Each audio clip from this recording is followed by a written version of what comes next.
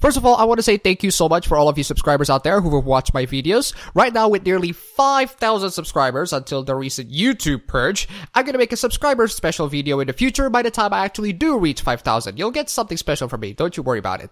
The ad revenue from May just came in and honestly, it made my life a hell of a lot better, and in return, my videos became better. Now you can hear my voice better, and now I can communicate and shitpost on Twitter so much better. Seriously, guys, thank you so much for all this. You guys absolutely freaking rock. Anyway, let's get into the topic. The topic that I want to talk about right now is concerning agenda pushing. The reason why I want to talk about this is because agenda pushing can lead entertainment media into nothing but propaganda. For example, a BBC video reporting about a Stanford University manager who asks for a possibility of having a PSA about women suffering through harassment or minorities suffering through violence. Now, I don't want to include that video as a rebuttal because BBC has filed a copyright strike towards a particular channel that I like, so I'm gonna give you the quote right here and the link so that you can just type in and watch the video yourself.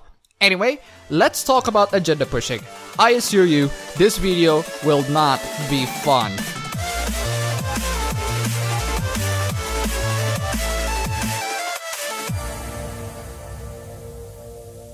First of all, we need to recognize what kind of agenda that they're trying to push in this particular instance. According to this particular sentence, there are two agendas that this person wants to push in the video gaming industry through 30 minute PSA interruptions.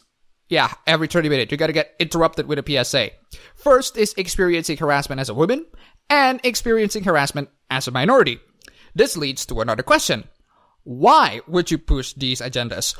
Why do you have to make women and minorities as priorities over other people? What makes them different? What makes their experiences different from other people? Why are their identifiers matter? You're living in the USA, where women have the same rights as men. In fact, there are some arguments that men have less rights than women. America is also a really diverse country. It's also a secular country where you can have the freedom to have any source of religion. And by minorities, do you mean black people? Well, maybe black people shouldn't commit more crime. It's insane of how the 30% of the population commit 22% of the total crime. Now, for whatever reason you might want to push this agenda, let's ask another important question.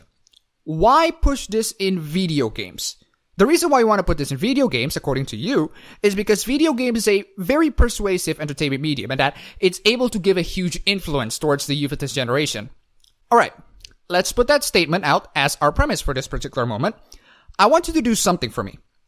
Give me one concrete example of how games can be persuasive towards a particular topic.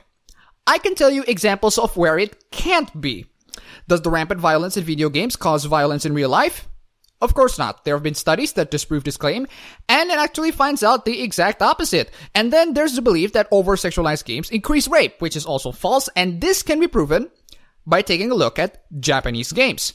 Now, just in case you guys don't know, Japanese media mostly came from mangas and they're later adapted into animes and video games. Before we move even further, let's give a distinction because this is important. Drawn fictional characters are not the same as real children, okay? Good. You might be surprised to hear this. But about 30 to 40% mangas contain sexual violence towards fictional children much of it representing schoolgirls of elementary or junior high school age, in themes including rape, sadomasochism, and bondage. Nah, I'm not kidding. Estimated around 35% of Japanese media contains sexual references to children.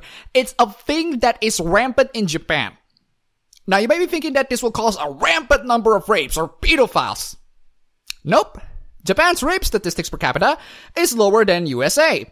It's not even in the top five countries with the biggest sexual abuse to children. So no. If lolis, I repeat, lolis do not cause pedophilia, over-sexualized women will not cause rape. Video games, or perhaps the entertainment media as a whole, cannot persuade the majority of people based on the content that they're trying to bring. The reason is very simple. They are fictional. There could be some people who are incredibly moronic to actually go off and shoot people in real life based on the video games that they play, but you're not considering mental health issues or parenting issues as possible factors. You decided to scapegoat this and blame it to video games, and even bigger BS like toxic masculinity. It's the shift blaming that I'm concerned with. Nobody wants to take responsibility because apparently that's what you think a lot of successful people do. I Gotta blame somebody, otherwise it's all my fault. Fuck that. So let's ask another important question. What do you expect the end result will be? Out of using this method, or PSA, to tell the gamers about the horrors of sexual harassment to women or violence towards minorities, what do you expect to come out of this? Will gamers actually have more tolerance towards women? But that would require the preconceived notion that gamers are intolerant towards women. When they are not. There are so many female gamers around the world. It consists of 28.57% of the entire gaming community. More than a quarter of them. This is the data that I got from a Pew Research study. This PSA is supposed to increase their tolerance, but you don't need to do that. They are already tolerant. Same applies to minorities as well. There are people playing video games in many different parts of the world. It's not just limited into the US at all, and they're extremely tolerant. You don't need any more messages about tolerance because we already tolerant about this. Let's get back to the disparity between men and women in gaming. There are some people who might be thinking that only 25% of women play video games, therefore sexism, and that it is problematic. What they wanted is a bit of an equality, or a 50-50 representation. First of all, why? Why should it be 50-50? If the reality doesn't conform into the situation, why should you force them to be 50-50? The next thing is that this disparity only says the fact that only around a quarter of women are interested in video games. It doesn't say that men are oppressing the other 25% women to just get out of gaming, just so that they're dominant. It's not sexism. It's just hobby. And women in general don't like to play video games. They want to do other hobbies. And that's fine. And putting all of those questions aside, why does equality matter? We're talking about equality of outcome and not opportunity. You want 50-50 women and men in the gaming realms. Why? Why do you have to force women into gaming so much? Remember the whole USC thing where they canceled the gaming panel solely because there's no woman in the panel? It's nonsense. It's not about representation of the world, it's about the world of gaming. I made an entire video about it. Yes, the entire world is 50-50 men and women, but they are different. And they all have different interests. It just happens that most people who are into game development are men. It's not sexism. Women can be in game development too. They just need to work hard. And that's ultimately what ideologues hate. Working hard. They don't want to work hard. What they want is for people to accept them solely based on their gender or race. Completely arbitrary identifiers putting themselves under the mask of diversity or equality. It's what people call affirmative action. The reason why they apply things like political correctness or cultural Marxism is that they don't want their ideas to be challenged. They don't want to be put in a point where they are inferior. It's the oppressor oppressed mentality that comes from cultural Marxism that totally destroys the minds of the young generation. You know where else you can preach this agenda better? Universities. They produce some incredibly unintelligent and mentally damaged people with your agenda, with degrees that are next to useless. Now, let's shift the agenda from, from women and minorities into something closer and more pushing. Politics. Let's just say that you are a Hillary Clinton supporter and you wanted to crush Donald Trump. How are you going to do that? How are you going to make the narrative that Hillary Clinton is awesome and Donald Trump is not? Well, according to the writer of the Sam Wilson Captain America run, Nick Spencer, the one way for you to do that is to write a comic book about a black Captain America who supports Black Lives Matter and paints Donald Trump or anyone who is against mass immigration as Nazis.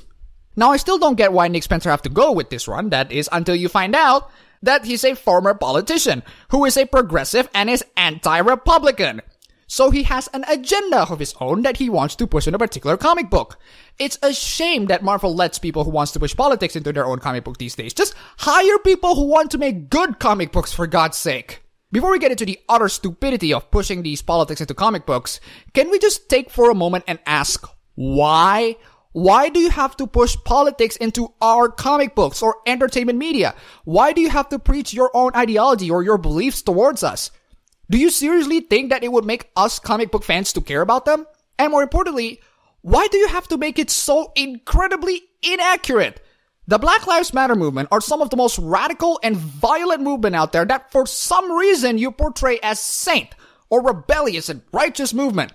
Donald Trump, he's not the most intelligent man in the universe, but he's no Hitler, for God's sake. Now, let's for the sake of argument accept the fact that all of this anti-Trump, pro-Hillary, pro-immigration, and pro-Black Lives Matter agenda that he's trying to push somewhat have a basis in reality, and that this is all true, and it's not propaganda. What does that add into the story? What kind of contribution does that bring into the grand scheme of things? This is where we have to ask the basic question of what can be considered entertainment. Entertainment is something that can provide amusement or enjoyment.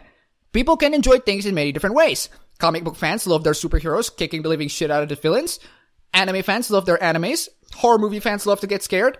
Now, how can we find enjoyment out of people lecturing us that, hey, sexual harassment is bad? Or people going on to say, hey, violence towards minority is bad? I think we could just make that one out with our own common sense. And then you're gonna make an essentially propaganda comic leaning to a particular area in the political compass, telling people that Trump is bad! Trump is bad! Mass immigration is good! Now, Razorfist brings up a good point in his vlog, which you should check out as well. While it is true that Captain America starts off as a political propaganda comic about the respective superhero punching Adolf Hitler or Tojo, the reason why people love those books is because they're incredibly entertaining. They're ridiculous, they're tongue in cheek, and they're self aware. They also have a significant purpose during World War II. Their purpose is to lift the spirits off of the American soldiers and the American people in general so that they can unite together in unison to fight Nazism. It's to get rid of fear. It's what we call escapism.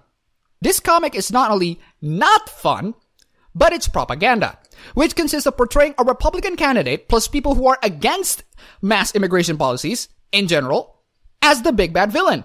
The reason? Because you disagree with his politics. Now let me make this clear.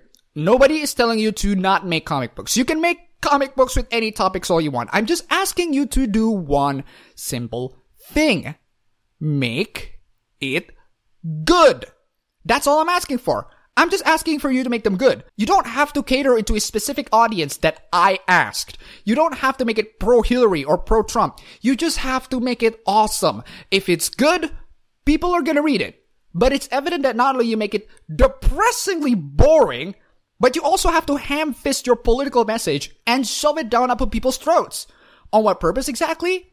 To spread your ideology. That's it. That's exactly what you wanted. You don't want to entertain people. You don't want to bring any sorts of contribution into the entertainment culture. You decided to desecrate on the medium you use in order to push a really bad story that consists of nothing but a political message.